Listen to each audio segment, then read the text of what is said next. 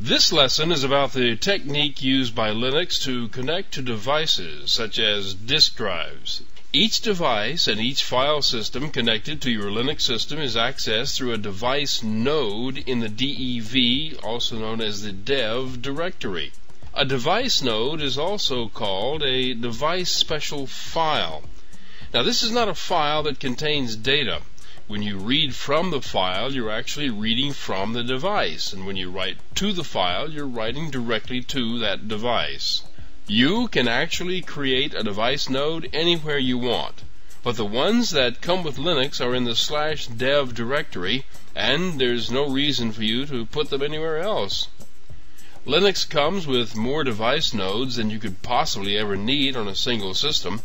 They are pre-allocated on disk, so you can quickly hook to any device that you connect to your computer. There are device nodes for terminals, serial ports, network cards, anything else you might want to hook up. Right now, let's take a look at the disk drive devices and see how that works.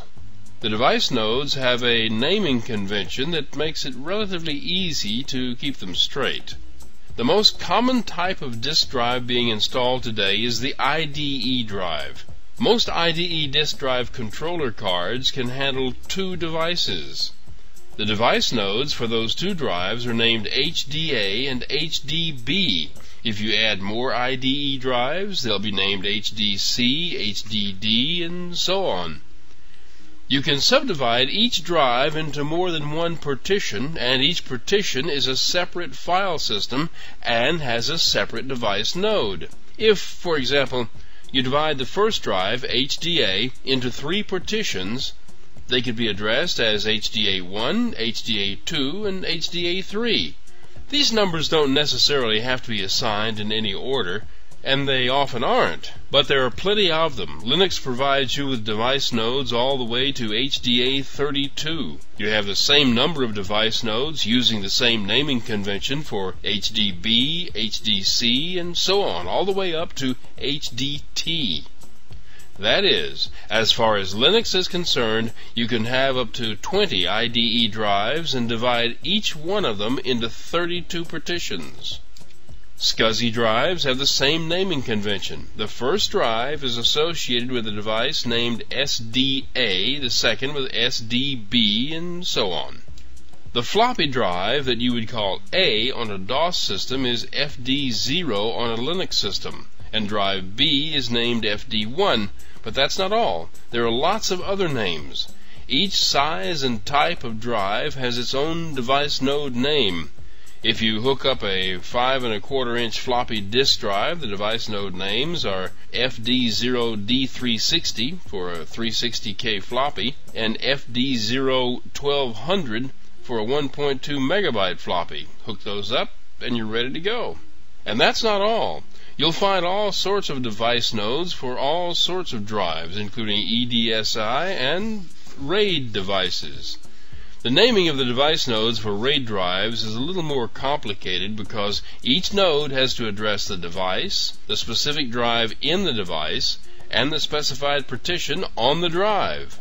Let's take a look at a couple of actual device nodes. Here is the HDA device node. The device node is owned by root and is a member of the group named disk. Here, looking at the permissions, you can see that everyone, including the group members, are allowed to read and write to the disk drive. Now, each device node has two numbers, a major number and a minor number. The major number is the device, and the minor number indicates the unit of that device.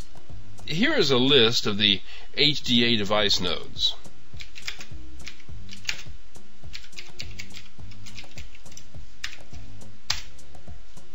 Each of these nodes is for a partition of the same drive, so the major number is the same on all of them, but the minor number is different for the different partitions. You can actually name a device node anything you want. It's these major and minor numbers that specify the actual device. Oh, one other thing. Notice the device type is the letter B. This means that it's a block device. That is, an entire block of data is transferred to or from the device in a single operation. If the device is the kind that you read and write a single character at a time, its type letter is C, indicating a character device.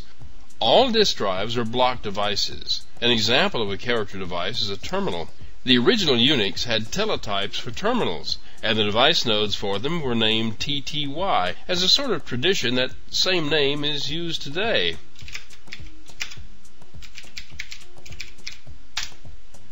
As you can see, this terminal device has a major number of 5, a minor number of 0, and is a character device. Well, that's a kind of brief look, but you get the idea. The major and minor numbers tell the Linux kernel which device driver should be used and what part of the hardware the device driver should address. We're going to be doing more with this stuff as we go along, so you'll get familiar enough with it to be able to use it. At this point, you may be thinking, wait a minute. If you have to address the device node, which is on disk, before you can read or write to the disk, isn't the horse somewhere in front of the cart? I mean, how can Linux get started? I'll be going into more detail on this toward the end of this course, but let me just give you a hint.